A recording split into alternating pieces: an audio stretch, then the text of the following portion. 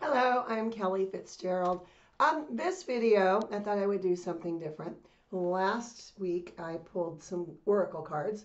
Um, cards, whether it's an Oracle card or a message from the guide card or a tarot card, they're all types of tools that different people use um, to help them navigate life.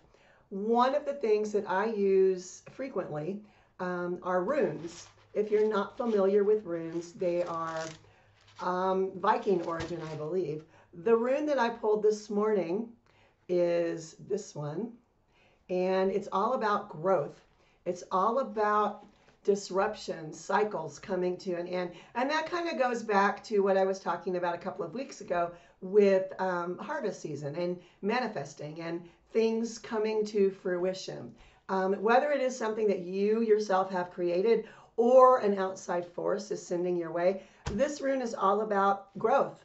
Grow through the disruption, grow through the harvest. Whatever it is that's happening in your life, rely on yourself.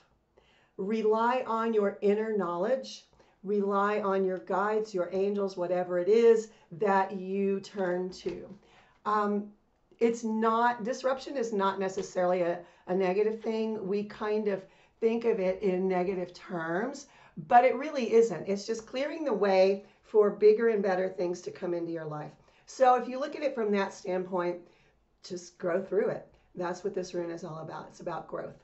So, you know, runes, like cards, are tools that people use. If it resonates with you, yay. If it doesn't, that's all right too. Just leave it behind. Um, if you have some suggestions for future videos, I would love to hear from you. So uh, please leave a comment.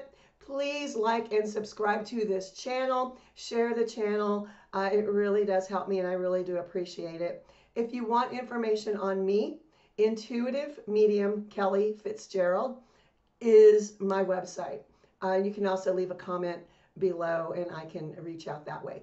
Um, if you want information about Laehli and the elephants, which is really my big passion project right now, I would love for you to check out that website. It is laehli.com. It's L A E H L I.com.